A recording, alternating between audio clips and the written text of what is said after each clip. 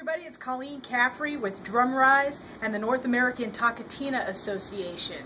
I want to invite you to join us this October for TaKeTiNa with Reinhard Flatischler, the creator and founder, on his fall workshop tour, The Yoga of Rhythm.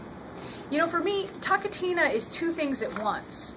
It's part kinesthetic rhythm education and it's part moving meditation.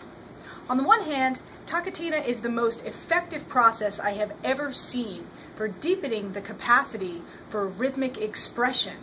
And it's also the most effective thing I've seen to quickly and effectively bring groups of people of all different ability and skill levels into deep entrainment in not only simple rhythm, but complex layers of rhythm and voice all together.